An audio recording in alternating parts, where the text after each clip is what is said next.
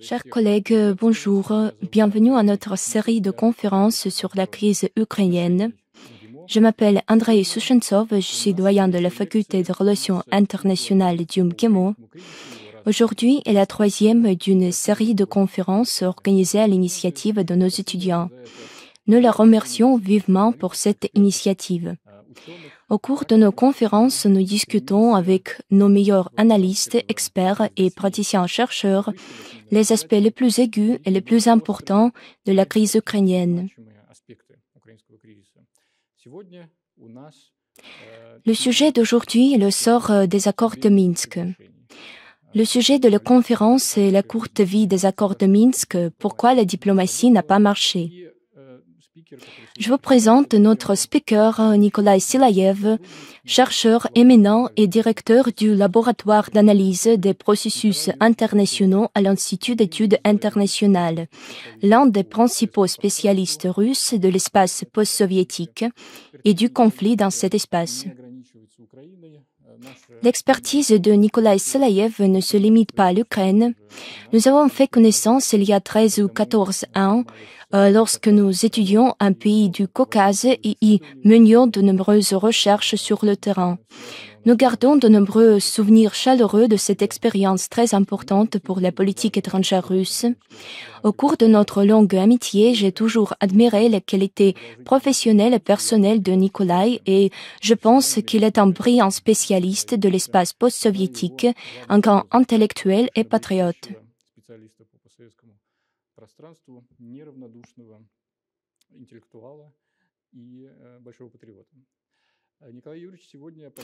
Aujourd'hui, Nikolai partagera avec nous sa propre opinion sur les raisons pour lesquelles les accords de Minsk ont été si éphémères et nous expliquera aussi pourquoi la diplomatie ne nous a pas permis de résoudre nos différends avec l'Ukraine. Il partagera son opinion et parlera de sa propre expérience acquise lorsqu'il participait aux négociations de Minsk.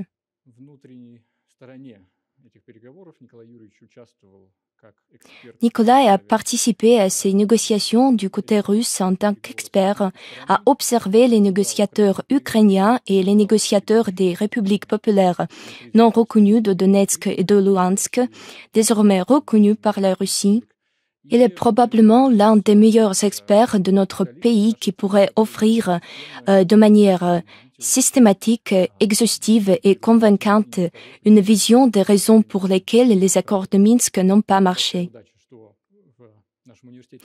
C'est une grande chance que nous ayons un tel spécialiste dans notre université et je suis particulièrement fier que Nicolas et je puisse vous considérer comme un bon ami. Je veux vous donner la parole et vous remercier de partager votre expérience avec nous aujourd'hui. Merci beaucoup, André, pour cette présentation flatteuse. Euh, je pense que ce sera la conférence la plus ennuyeuse de la série car euh, j'essaierai d'éviter les grandes évaluations politiques et les grandes généralisations en me concernant sur la pratique diplomatique réelle qui consistait en la tentative de résoudre le conflit dans le Donbass sur la base des accords de Minsk. Euh, je vais vous dire un peu comment j'en suis arrivé là. Euh, le fait est qu'en 2015, entre le mois d'août et la fin de l'année, puis de mars 2017 à mars 2020, je travaillais en tant qu'expert dans la délégation russe qui menait cette négociation.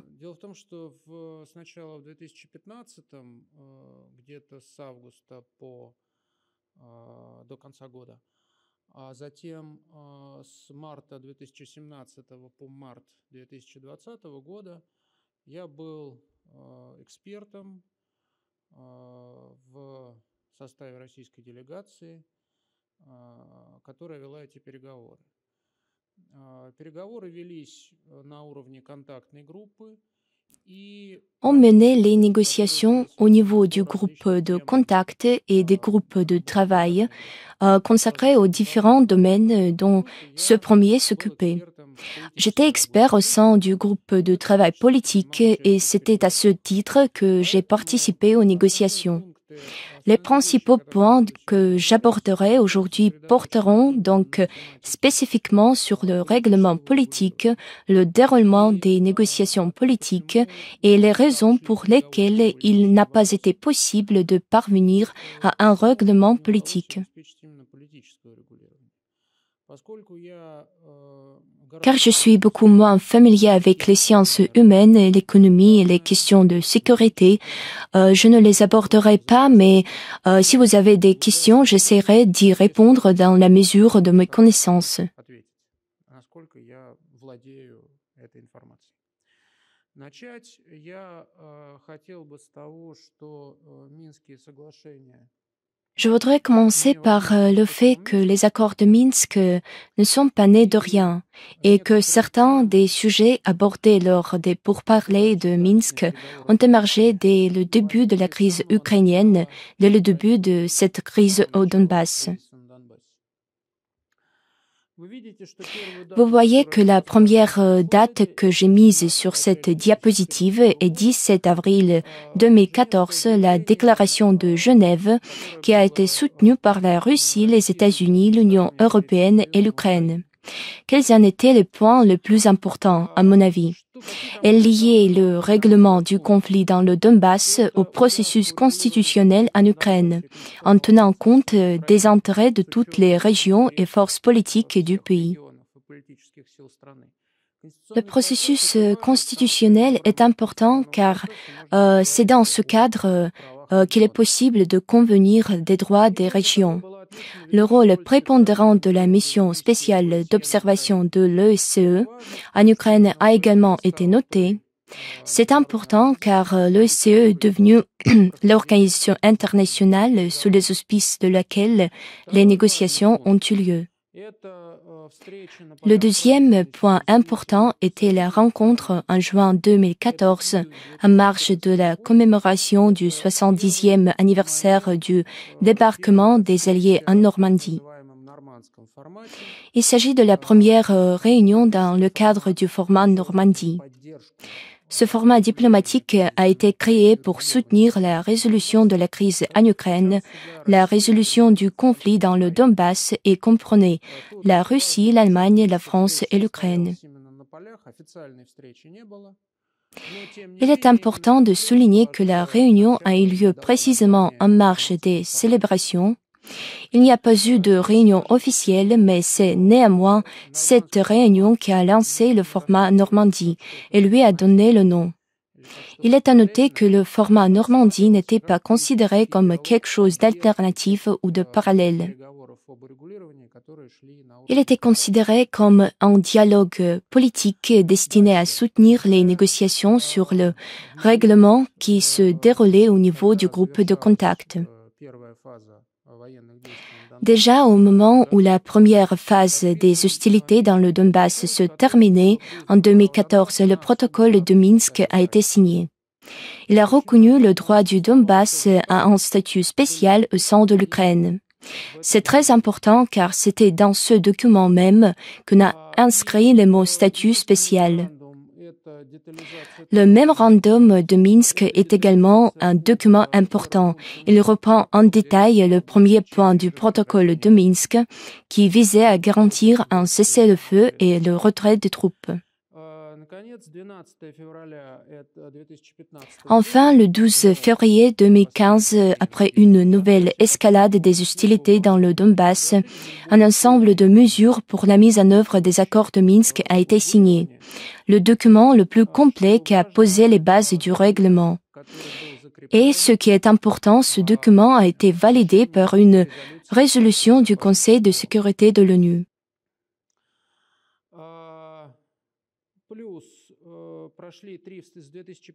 En outre, trois réunions au sommet au format Normandie ont eu lieu entre 2015 et 2019 après la signature d'une série de mesures sur la mise en œuvre des accords de Minsk.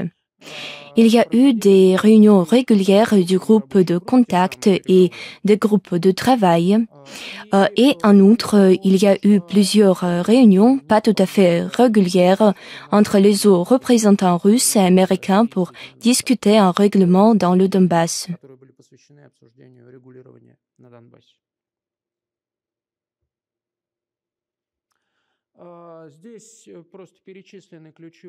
Ici, on énumère euh, tout simplement les documents clés du règlement politique. Il est important de souligner que l'Ukraine a adopté en 2014 une euh, loi sur la procédure spéciale pour l'autonomie locale dans certaines zones euh, des régions de Donetsk et de Luhansk, qui est ensuite devenue l'un des sujets importants et l'une des pierres d'achoppement des négociations.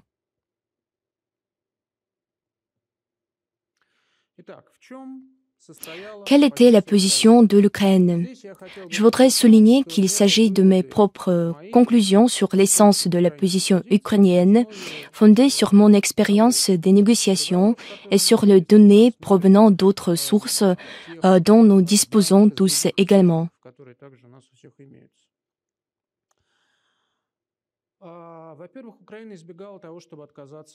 Tout d'abord, euh, l'Ukraine a évité de refuser ouvertement de mettre en œuvre les accords de Minsk, estimant, non sans raison, que ces derniers garantissaient effectivement un cessez-le-feu. Le rejet des accords de Minsk était gros de la reconnaissance par la Russie de l'indépendance des républiques populaires de Donetsk et de Luhansk.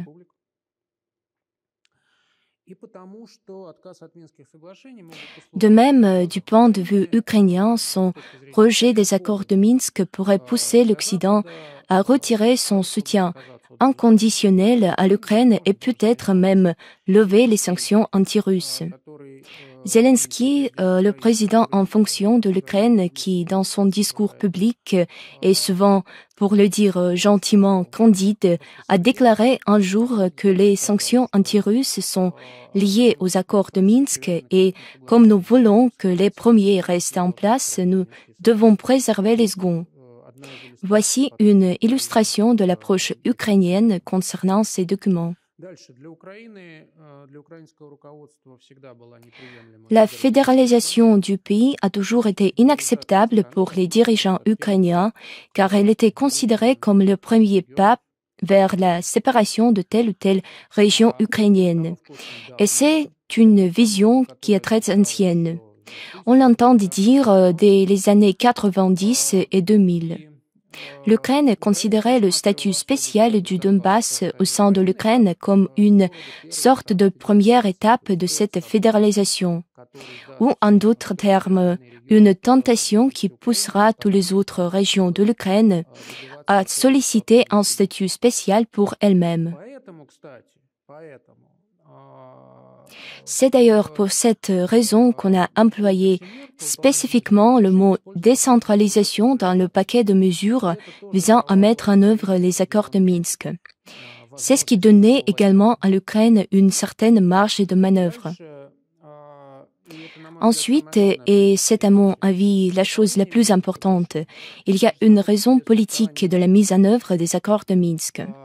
Leur existence même aux yeux de l'Ukraine et euh, pas seulement Ukraine euh, reviendrait à reconnaître la composition hétérogène mixte du pays, euh, le fait qu'il existe différents groupes de population qui vivent sur différents territoires qui ont des langues maternelles différentes, des versions différentes de la mémoire historique et donc euh, des opinions différentes sur les meilleures politiques étrangères et intérieures à suivre.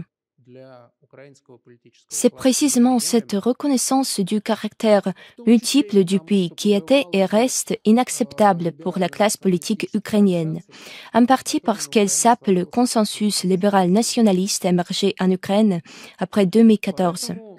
Par conséquent, l'essence de la stratégie de négociation ukrainienne consistait à faire traîner en longueur la mise en œuvre des accords de Minsk. Non pas pour rejeter ces accords, mais néanmoins pour empêcher leur mise en œuvre. Voici, à mon avis, une citation très typique d'un article de Volodymyr Korpulin, analyste politique ukrainien.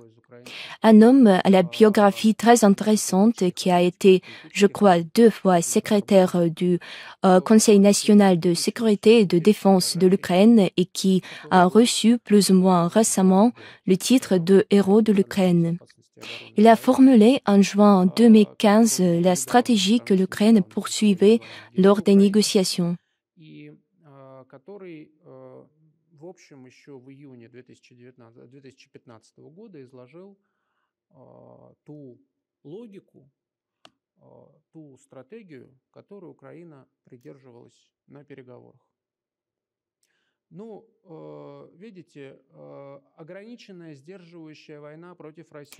Une guerre de dissuasion limitée contre la Russie et ses collaborationnistes, c'est-à-dire le bombardement de Donetsk et de Luhansk. Processus de négociation continue sans fixation définitive des résultats. Renforcement militaire. Intensité accrue des sanctions internationales et rapprochement avec l'OTAN et l'Union européenne. C'est exactement la politique que l'Ukraine a fini par adopter. Il y a donc euh, un tel penseur en Ukraine impliqué dans les négociations et qui avait écrit au sujet du type de négociation souhaitable pour l'Ukraine, ce que les dirigeants ukrainiens ont réalisé depuis plusieurs années.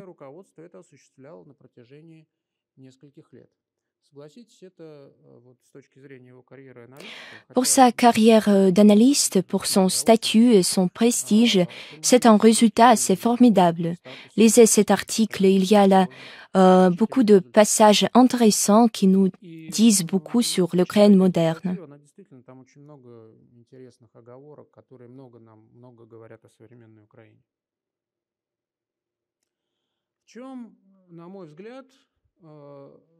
Quelle était à mon avis la position russe? Je dis à mon avis parce qu'en tant que négociateur, je n'ai rien eu à voir avec euh, l'élaboration de notre ligne stratégique. Ici, je ne partage donc euh, pas mes euh, connaissances de notre ligne stratégique, mais mes propres observations. Tout d'abord, euh, à mon avis, il était important que les accords de Minsk fixent la nature composite de l'Ukraine. Et si l'Ukraine est composite, s'il existe une entité politique et juridique de ce euh, que l'autre célèbre analyste politique ukrainien Mikhail Pogrebinski a un jour appelé l'Ukraine russe, s'il existe une entité politique et juridique des gens qui parlent russe et qui veulent préserver cette langue, éduquer leurs enfants dans cette langue, préserver les liens étroits entre l'Ukraine et la Russie, qui ne veulent pas que l'Ukraine devienne membre des alliances militaires anti-russes. C'est ce qui, en soi, pourrait garantir au moins cette neutralité ukrainienne que la Russie réclame depuis des années. Которые хотят сохранить тесные связи Украины и России, которые не хотят, чтобы Украина становилась членом направленных против России военных союзов, то само это, само по себе это может обеспечить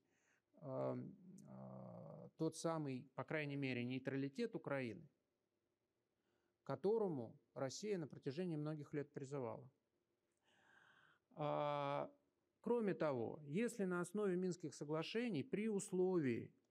En outre, si sur la base des accords de Minsk, à condition que ce caractère composite de l'Ukraine ou bien l'entité politique de l'Ukraine russe soit fixé, on parvient à mettre fin au conflit armé, ces accords relanceront les relations avec l'Ukraine et permettront de réengager ou de construire de nouveaux leviers d'influence politique et diplomatique sur la politique étrangère et intérieure de Kiev.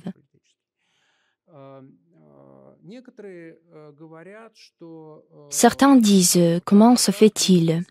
Les accords de Minsk sont un atout russe dans la crise ukrainienne. Je crois que c'est fou. Les conditions des accords de Minsk étaient minimalistes et en fait, ils n'étaient censés être qu'un retour aux relations de bon voisinage qui, à leur tour, implique bien sûr le rejet de l'adhésion à l'OTAN. À mon avis, c'est très évident.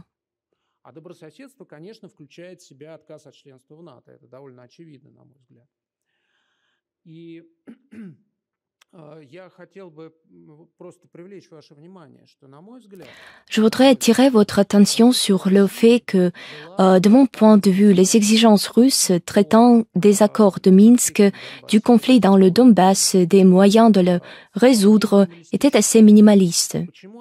Mais pourquoi étaient-ils minimalistes et modérés?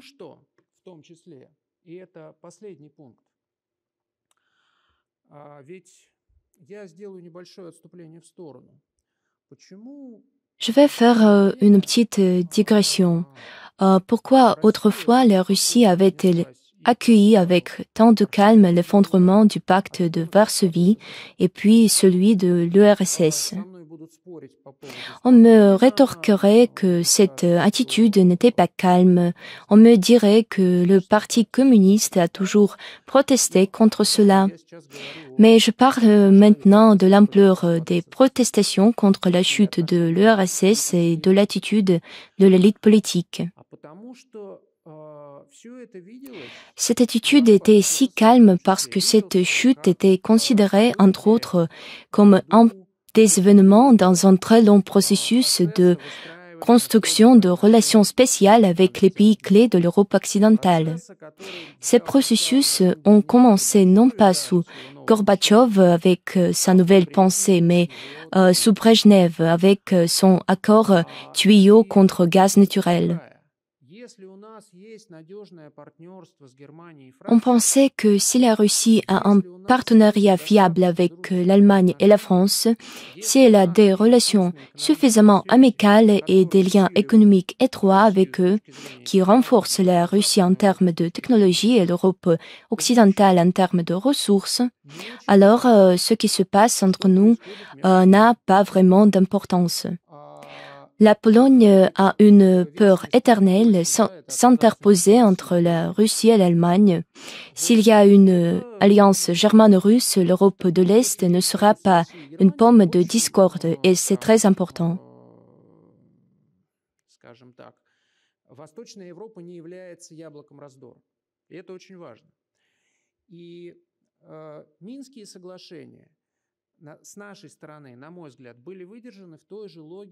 Les accords de Minsk, à mon avis, ont été tenus par la Russie dans la même logique de la maison commune européenne. Une maison commune, non pas en termes de valeurs, bien sûr, mais en termes d'intérêt, en termes de partenariat politique et économique profond avec les pays clés de l'Europe occidentale. Les accords de Minsk s'inscrivaient dans, la même logique. Laisser la Russie trouver un arrangement avec les Européens et ensemble, ils établiront un certain ordre de choses sur le continent qui conviendra à tous. Eh bien, je pense que euh, je n'ai pas besoin de vous dire euh, qui dans ce monde est le moins intéressé par un tel résultat.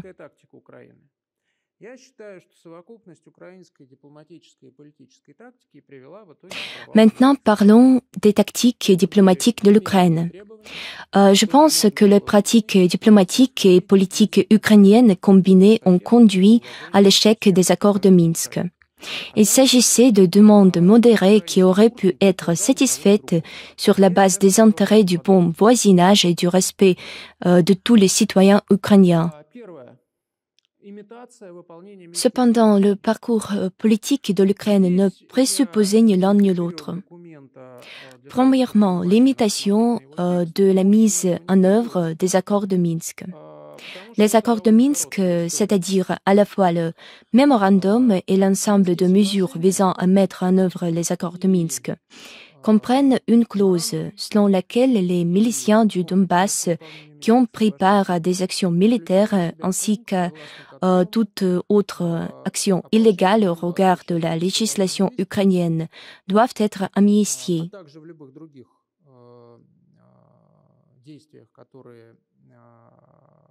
незаконные с точки зрения буквы украинского законодательства, должны быть амнистированы. На самом деле, со стороны Донбасса это требование было зеркальным по отношению к тому, En fait, du côté de Donbass, la demande s'est calquée sur euh, ce qu'on avait fait avec les participants au coup d'État de février 2014 à Kiev. Des lois avaient été adoptées qui les excluent des poursuites pénales. L'amnistie est une chose un peu différente. Une affaire pénale est quand même ouverte puis close en raison de l'amnistie, soit au stade de l'enquête, soit au stade du procès. L'Ukraine a adopté une loi d'amnistie. Ils avaient écrit leur propre texte de loi. Ce texte, contraire à ce qu'exige le paquet de mesures, n'avait pas été harmonisé avec les représentants du Donbass. La Rada suprême avait ensuite voté en faveur de ce projet de loi. Ensuite, selon le règlement de la Rada, le projet de loi devait être signé par le président de la Rada, puis transmis au président ukrainien pour signature.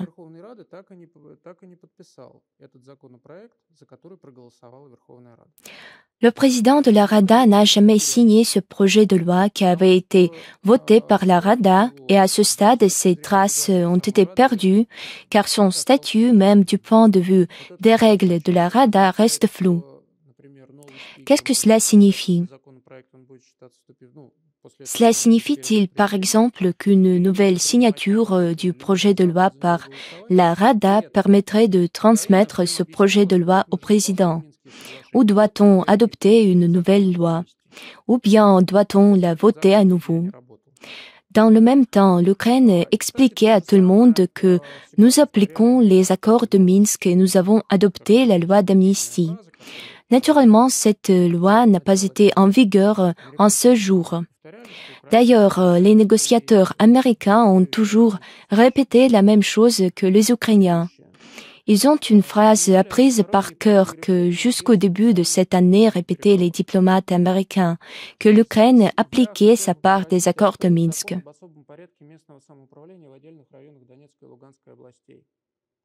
Ensuite, les Ukrainiens ont pris des décisions juridiques unilatérales sans consulter leurs partenaires de négociation notamment la loi sur la procédure spéciale pour l'autonomie locale dans certaines zones de Donetsk et de Luhansk, en particulier l'article 10.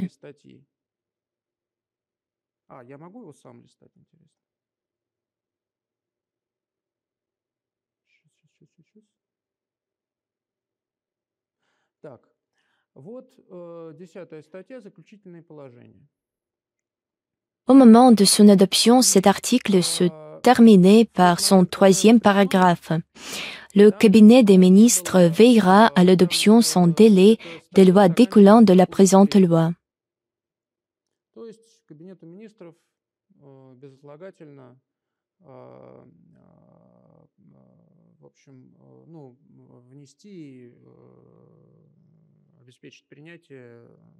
законов, вытекающих из этого закона.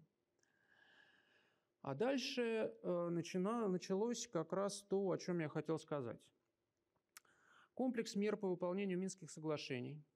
Le paquet de mesures euh, en vue de la mise en œuvre des accords de Minsk était censé entrer en vigueur dans le mois suivant sa signature, c'est-à-dire en mars 2015.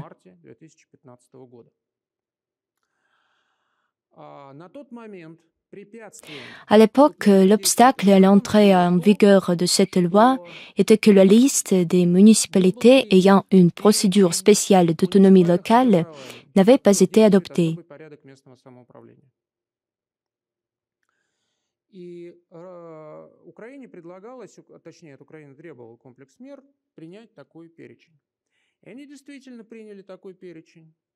Le paquet de mesures exigeait que l'Ukraine adopte une telle liste. Ils l'ont adoptée effectivement, mais sans aucune résolution par la Rada suprême, sans énumérer les municipalités spécifiques où la loi devrait s'appliquer. Ils ont fait référence à la ligne de contact entre l'Ukraine d'une part et les républiques populaires de Donetsk et de Luhansk de l'autre, sans énumérer de municipalités spécifiques. En soi, cela constituait déjà un obstacle à l'entrée en vigueur de cette loi. De plus, à l'initiative du président ukrainien Poroshenko, des paragraphes ont été ajoutés à la loi sur l'ordre spécial de l'autonomie locale, qui ont pratiquement bloqué son entrée en vigueur. Paragraphe 4.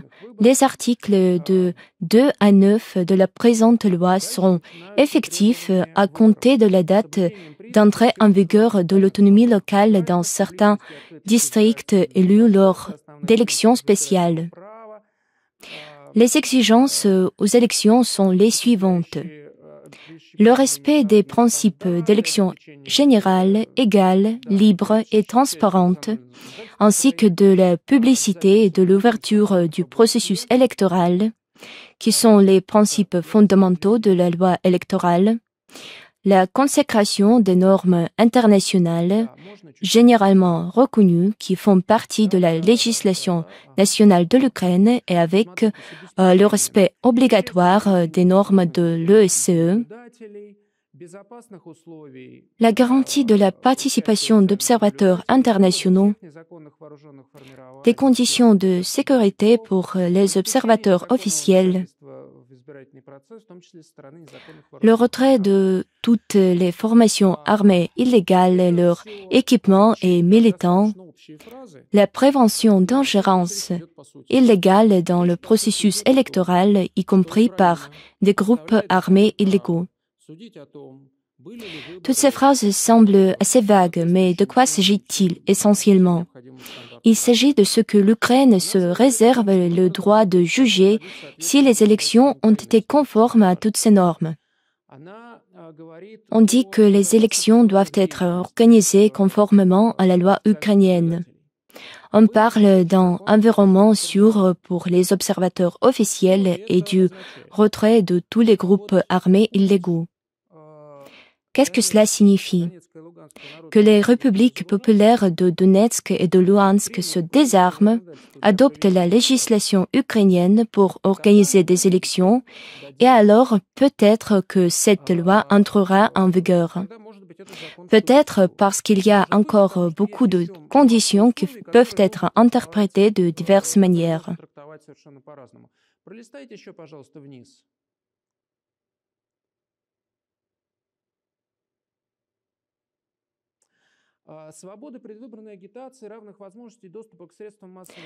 Liberté de campagne préélectorale, égalité d'accès aux médias, rétablissement de la télévision et de la radio ukrainienne à cette fin. En d'autres termes, autoriser pleinement les médias ukrainiens dans le Donbass et euh, ce n'est qu'à cette condition qu'une élection peut avoir lieu.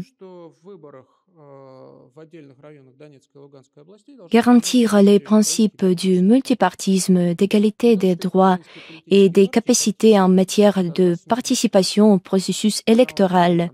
On fait référence au fait que les partis politiques ukrainiens devraient participer euh, aux élections dans certaines zones des régions de Donetsk et de Luhansk, même si ces partis politiques euh, ukrainiens euh, n'ont pas réellement été actifs dans le Donbass depuis le début du conflit. Assurer les garanties des droits électoraux des individus déplacés à l'intérieur du pays.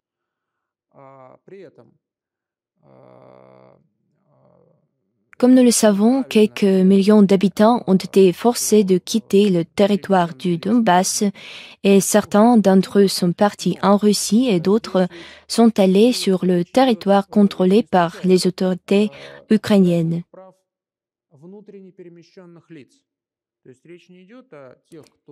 La prescription selon laquelle les personnes déplacées devraient participer aux élections est parfaitement valable, mais ce n'est pas par hasard euh, que nous parlons des droits électoraux des individus déplacés à l'intérieur du pays. Il ne s'agit pas de ceux qui sont partis en Russie. Il ne s'agit que de ceux qui sont restés en Ukraine et euh, c'était tout à fait prévisible. Si les élections ont lieu, l'Ukraine essaiera d'ouvrir davantage de bureaux de vote pour les individus déplacés à l'intérieur du pays, tandis qu'elle ne voulait pas que ceux qui sont en Russie puissent voter. Ainsi, d'une part, l'Ukraine a adopté cette euh, loi clé pour euh, un règlement politique.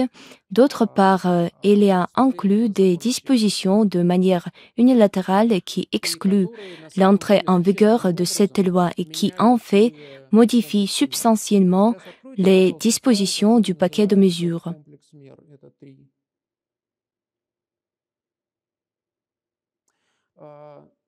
Это здесь я уже, наверное, могу листать. Вот э, посмотрите четвертый пункт. Э, начать диалог о модальностях местных выборов. Le quatrième point du paquet de mesures, entamer un dialogue sur les modalités des élections locales conformément à la loi ukrainienne et à la loi sur l'ordre temporaire. Начать диалог о модальности местных выборов э, в соответствии с украинским законодательством и законом о временном порядке, который мы уже читали. Э, можно дальше? Э, ну вот, собственно говоря, то самое требование, о котором я вам говорил. Пролистайте, пожалуйста, вниз.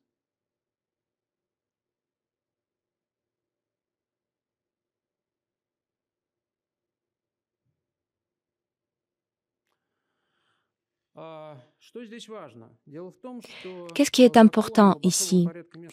euh, Le fait est que la loi sur l'ordre spécial de l'autonomie locale n'était pas le seul problème, car euh, d'après le paquet de mesures, euh, des réformes constitutionnelles étaient nécessaires pour pouvoir prendre en compte les intérêts des différents groupes de la population ukrainienne.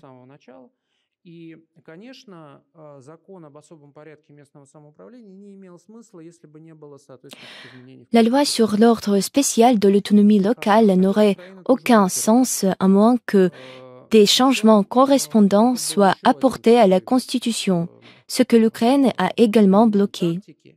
C'était un autre élément de la tactique ukrainienne.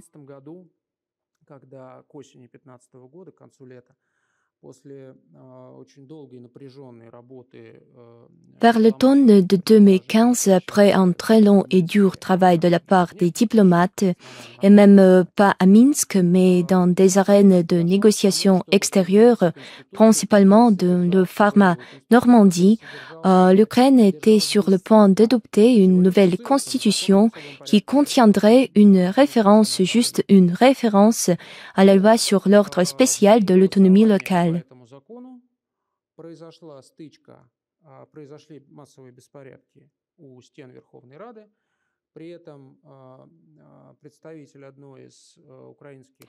Mais le jour du vote de cette loi, il y a eu une escarmouche. Des troubles de masse ont eu lieu devant la Rada suprême, lors desquels un représentant d'une organisation paramilitaire radicale ukrainienne a lancé une grenade vers les troupes qui formaient le cordon. Quelques individus ont été tués. Et après cela, l'Ukraine a abandonné le projet de constitution au motif que le peuple ne le comprendrait pas. Vous voyez comment notre peuple proteste au point de lancer des grenades.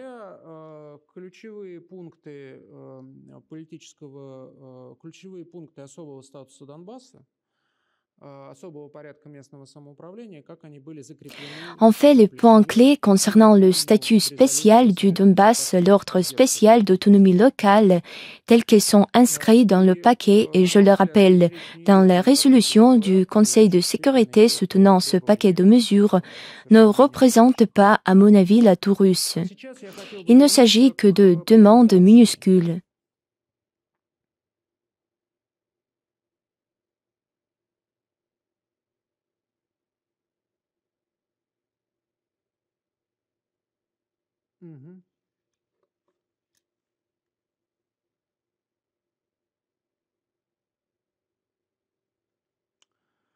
К этому, вот к этим односторонним правовым решениям, односторонним законодательным решениям, которые подрывали Parmi les décisions législatives unilatérales de l'Ukraine qui ont sapé les accords de Minsk, j'inclurai également en premier lieu la loi sur la langue qui a considérablement limité l'utilisation de la langue russe, en deuxième lieu l'abrogation de la loi sur la politique linguistique de l'État qui partait du principe que la langue russe n'avait qu'un statut régional, en troisième lieu les lois sur l'éducation qui ont considérablement réduit l'enseignement en russe et rendu presque impossible sa fourniture gratuite.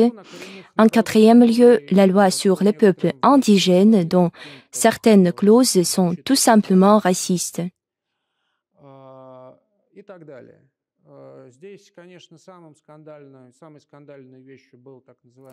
Bien sûr, la plus scandaleuse a été la loi dite sur la politique d'État de la période de transition.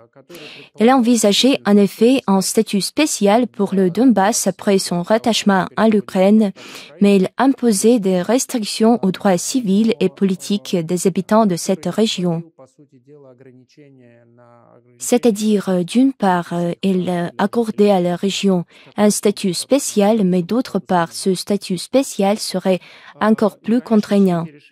Bien entendu, toutes ces décisions sapaient les accords de Minsk et entravaient les négociations.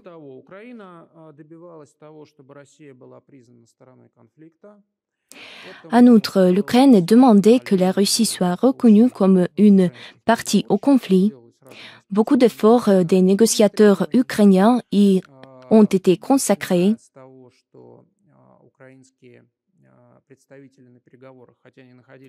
Ils le faisaient de différentes manières, euh, à commencer par des demandes directes. Par exemple, les négociateurs ukrainiens à table avec les représentants de Donetsk et de Luhansk déclaraient qu'ils ne négociaient pas directement avec eux, euh, qu'ils ne les même pas écoutaient et qu'ils ne négociaient qu'avec la Russie. L'Ukraine tentait également de pousser la Russie à délivrer des certificats de décès pour les individus disparus lors du conflit en 2014-2015. Et cette logique ukrainienne était transparente. Si la Fédération de Russie délivre des certificats de décès, cela signifie que la Fédération de Russie les a tués.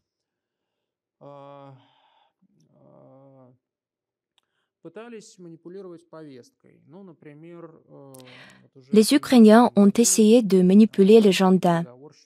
Par exemple, en 2017, les négociateurs ukrainiens promouvaient activement lors des pourparlers la création d'un nouveau groupe de travail au sein du groupe de contact qui gérerait le transfert à l'Ukraine de la frontière dans les zones contrôlées par les républiques populaires de Donetsk et de Luhansk.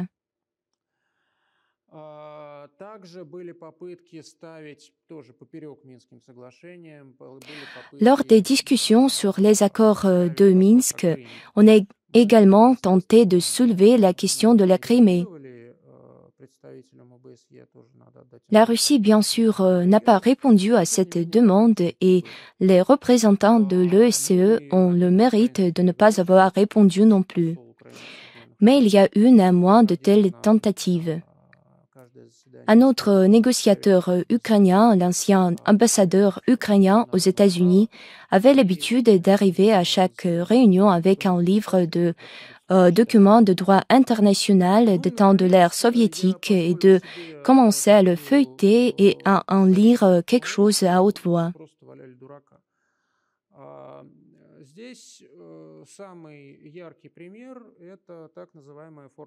Enfin, les Ukrainiens ne faisaient que déconner. L'exemple le plus frappant est la formule dite de Steinmeier. Nous avons parlé de la loi sur la procédure spéciale pour l'autonomie locale et euh, des amendements unilatéraux que l'Ukraine y a adoptés, bloquant la validité de cette loi. Je dois dire euh, que ce problème a tout de suite été soulevé lors des négociations. On a consacré une grande partie des négociations politiques de l'été 2015 à expliquer à l'Ukraine qu'elle ne pouvait pas bloquer unilatéralement l'application de la loi sur l'ordre spécial d'autonomie locale sans violer les accords de Minsk.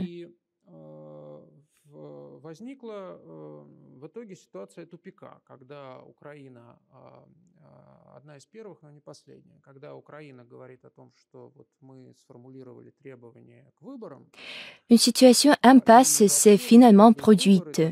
L'Ukraine a déclaré avoir formulé des exigences vis-à-vis euh, des élections et assuré qu'après les élections dans certaines zones des régions de Donetsk et de Luhansk, ces zones recevraient un statut spécial. On leur répondait que l'Ukraine devait promulguer cette loi sans aucune réserve de ce type. Ce sujet a atteint le format Normandie au plus haut niveau et, euh, si je ne me trompe pas, en octobre 2015, il y a eu une réunion de chefs d'État du format Normandie à Paris euh, où cette même formule Steinmeier a été proposée et acceptée. Qu'est-ce que la formule Steinmeier si les Ukrainiens veulent que la loi entre en vigueur après l'élection, qu'elle entre en vigueur après l'élection.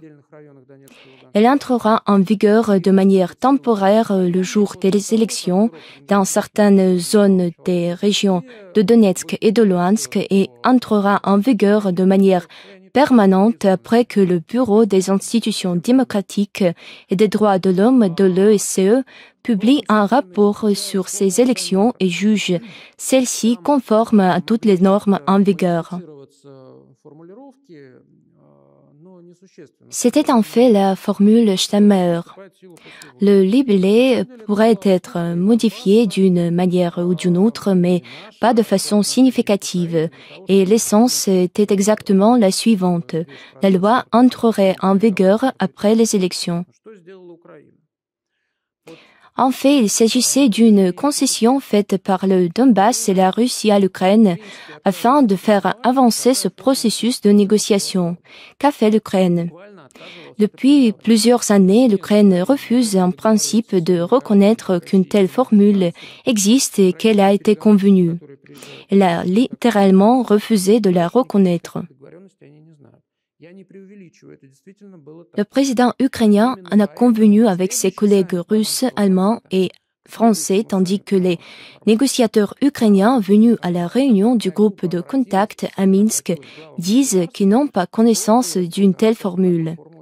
Je n'exagère pas, c'était effectivement le cas. C'est pourquoi pour le prochain sommet du format Normandie, le groupe de contact a spécifiquement demandé au chef d'État d'expliquer ce qui était la formule Steinmeier. Elle a été reformulée, mise sur papier et transmise au groupe de contact. Néanmoins, l'Ukraine refusait toujours de discuter ce sujet pendant encore trois ans. Les négociateurs ukrainiens ont apposé leur signature sur un document qui stipule que la loi sur l'ordre spécial d'autonomie locale entrera en vigueur provisoirement le jour des élections et définitivement après l'évaluation de ces élections par l'OSCE à l'automne 2019, c'est-à-dire quatre ans après le moment où on s'est entendu sur la formule. Je ne sais pas comment on l'appelait autrement que déconner.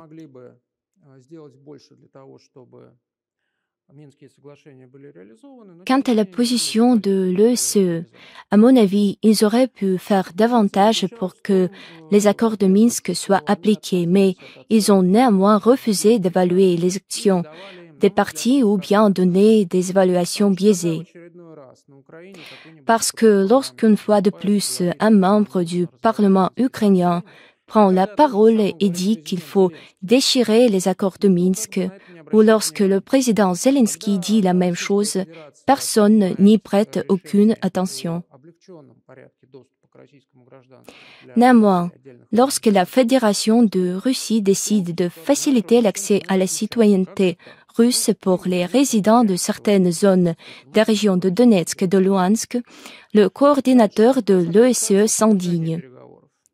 Les délégués russes y répondent bien sûr que les questions de citoyenneté sont une affaires internes de la Fédération de Russie. Ensuite, l'OSCE a refusé d'enregistrer euh, le contenu des négociations. Une histoire euh, étonnante s'est produite en 2015.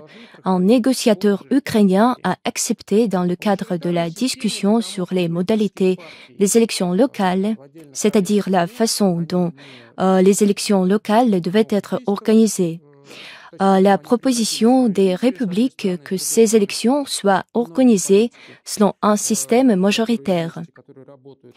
Ce système a été choisi parce que les partis politiques dans les districts individuels n'existent pas et ne peuvent pas fonctionner.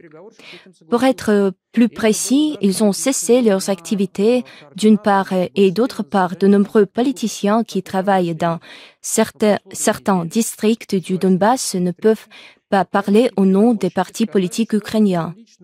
Donc, euh, le négociateur ukrainien y a donné son accord et le coordinateur de l'ESCE a même déclaré lors de la réunion du groupe de contact que cet accord existait. Deux semaines se sont écoulées et lors de la réunion suivante, les négociateurs ukrainiens ont déclaré que qu'il s'agissait de l'opinion personnelle d'un membre de leur délégation qui n'avait rien à voir ni avec la position de la délégation dans son ensemble, ni avec la position officielle de l'Ukraine. S'il avait été possible de consigner sur le papier les accords déjà conclus, au moins sous la forme d'un protocole, ce genre de euh, tergiversation aurait été plus difficile à réaliser. Mais l'Ukraine s'y est opposée et l'OSCE n'a pas insisté. Et à mon avis, elle a en général soutenu implicitement la ligne de l'Ukraine visant à reconnaître la Russie comme une partie au conflit, bien que la Russie insiste sur le fait qu'elle ne l'était pas et qu'elle n'est pas partie au ce conflit au Donbass, conflit interne ukrainien, et qu'elle est l'un de ses médiateurs. Mais les diplomates de l'ESE ne la soutenaient pas.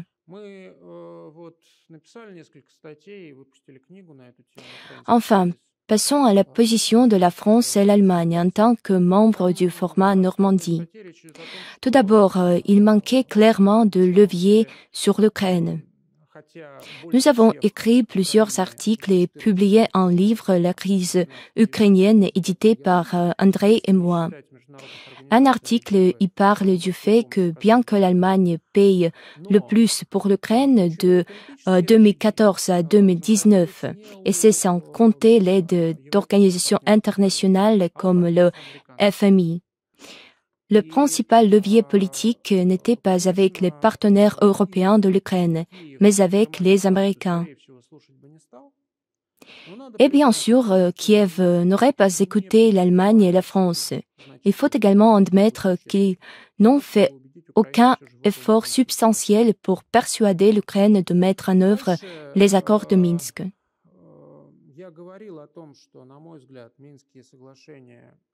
Et là, j'ai dit aussi qu'à mon avis, les accords de Minsk et la stratégie russe dans le conflit interne ukrainien s'inscrivaient depuis de nombreuses années dans la vision d'une maison européenne commune et que l'Allemagne et la France se confrontaient à un choix difficile entre une maison européenne et la solidarité atlantique.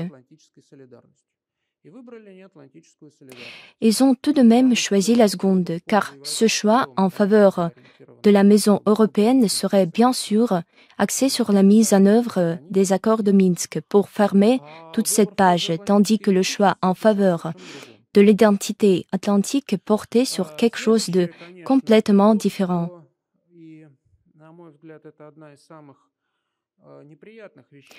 Le point suivant, à mon avis, est une euh, des choses les plus désagréables et les moins constructives de la part des Européens, leur tendance à entretenir le mythe de leur neutralité. C'est-à-dire lorsque les diplomates retraités de l'OTAN viennent à Moscou et commencent à verser des larmes de crocodile lors des réunions d'experts en disant Eh bien, c'est ainsi, les Russes et les Ukrainiens sont deux peuples proches, nous voulons tellement vous réconcilier que la Russie se reconnaisse comme une partie au conflit. D'une part, euh, ils maintenaient ce mythe, mais d'autre part, ils les croyaient eux-mêmes. Euh, et c'est ce qui a empêché toute discussion sur les questions essentielles, notamment la sécurité européenne. Ils ont systématiquement rejeté toute idée d'aborder les questions relatives à l'Ukraine autres que les accords de Minsk et réduisaient indûment les thèmes de ceux-ci. Они довольно последовательно отвергали любые намеки на обсуждение каких-то вопросов, касающихся Украины, кроме Минских соглашений. Так вот, неоправданно сужали тематику Минских соглашений. Например, отрицательно реагировали, негативно реагировали, если им напоминали о том, что Украина ограничивает... Par exemple, ils réagissaient négativement lorsqu'on leur rappelait que l'Ukraine limitait l'utilisation de la langue russe et presque interdisait l'enseignement en russe. Il disait que cela n'avait rien à voir avec les accords de Minsk et que cela ne valait pas la peine de le discuter ils ont fini par se solidariser avec la position ukrainienne. Je vous recommande vivement de lire la correspondance diplomatique que le ministère russe des Affaires étrangères a publiée l'automne dernier. Il s'agit de la correspondance du ministre russe des Affaires étrangères avec ses homologues allemands et français. Suivez l'évolution de la situation. Ces derniers ont en fait suggéré que la Russie devait être considérée comme une partie au conflit. Ils ont refusé de discuter le statut de la langue russe en Ukraine, alors que c'est l'un des points des accords de Minsk. Ils ont insisté sur le fait qu'ils ne donneraient leur évaluation du non-respect des accords de Minsk par l'Ukraine. Ils ont fini donc euh, par se solidariser avec la position ukrainienne. Et enfin, la dernière chose que je voudrais dire, euh, le dernier sommet euh, du format Normandie, le 9 décembre 2019. Voici une citation qui concerne les aspects politiques du règlement. quelques points essentiels sont là se mettre d'accord sur euh, tous les aspects juridiques de l'ordre spécial d'autonomie locale, intégrer la formule Steinmeier dans la législation nationale ukrainienne. Cette euh, exigence a été convenue conjointement et énoncée explicitement et représente un point qui est très difficile de contourner. Et pourtant, l'Ukraine réussissait à le contourner pendant les années suivantes. L'Ukraine a proposé ses amendements à la loi sur l'ordre spécial de l'autonomie locale, où elle a fixé tous les souhaits qu'elle avait formulés en 15 ans. Retrait des formations armées, multipartisme, médias ukrainiens, etc. En d'autres termes, il a conservé les conditions qu'elle avait formulées pour euh, les élections de manière unilatérale, mais a également suggéré d'ajouter le texte de la formule Steinmeier concernant l'entrée en vigueur euh, sur une base temporaire puis euh, celle permanente. Euh, et si vous vous souvenez, l'automne dernier, on parlait beaucoup d'un nouveau sommet au format Normandie. Euh, L'Ukraine a tenté par tous les moyens de parvenir à la tenue de ce sommet. Euh, que signifierait un sommet au format Normandie, une rencontre entre Zelensky et Poutine, les dirigeants allemands et français, dans le contexte où l'Ukraine n'applique pas les décisions du sommet précédent? Il signifierait lui permettre de ne pas les mettre en œuvre dans le futur. C'est-à-dire, nous nous sommes mis d'accord sur quelque chose, nous n'avons rien fait et puis nous nous retrouvons pour négocier. Donc, encore une fois, nous n'avons plus d'exigences vis-à-vis de l'Ukraine. Euh, c'est ainsi que cela se traduit de la langue diplomatique au russe. Je l'ai dit plusieurs fois, la force de la diplomatie ukrainienne réside justement dans son absence totale d'honte, et ainsi le sentiment principal qui émane des négociations avec ceux que Kiev a envoyés à Minsk est celui d'une impudence et d'une stupidité totale.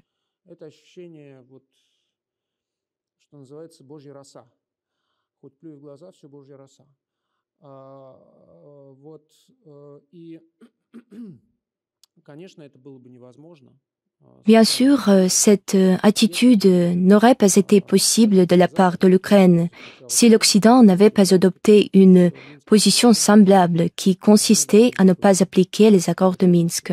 Merci beaucoup.